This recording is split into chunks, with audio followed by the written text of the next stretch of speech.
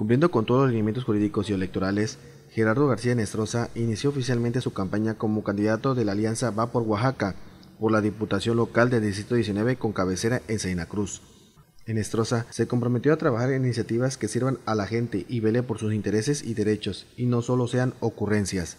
Externó que la fórmula que encabeza está acompañada del doctor Javier Vizcaya Rivera con el lema hay experiencia, si hay trabajo, si hay honradez, con propuestas reales que triunfarán en las elecciones del próximo 6 de junio.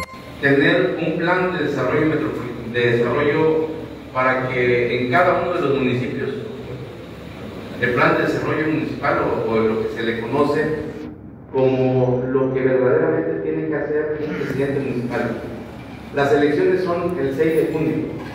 Pasando el 6 de junio, los eh, próximos diputados tendrán la oportunidad de trabajar en manera conjunta con todos y cada uno de los presidentes municipales para generar un plan de desarrollo municipal que verdaderamente vaya a do de cada uno de sus municipios.